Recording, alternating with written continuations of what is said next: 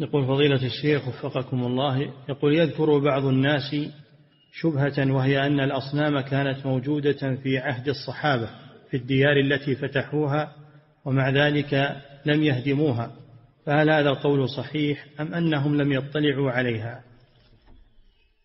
لا هو كان أبو الهول ولا كانت والأهرام موجودة لكن ما تعبد في عهد الصحابة ما كانت تعبد والآن ما هي تعبد لكن فهم لم ي... أيضا الصحابة يهدمون جبل. جبل أبو الهول جبل عظيم إيش يقول يهدمون؟ هذه ما دامت إنها ما تعبد وإنما هي باقية عقب فرعون والفراعنة. هذا ما وجودها ما ما فيه يعني خوف. وجودها ما فيه خوف على العقيدة. حتى الآن سبحان الله ما يعبدون. يعبدون القبور ولا يعبدون الأهرام. نعم.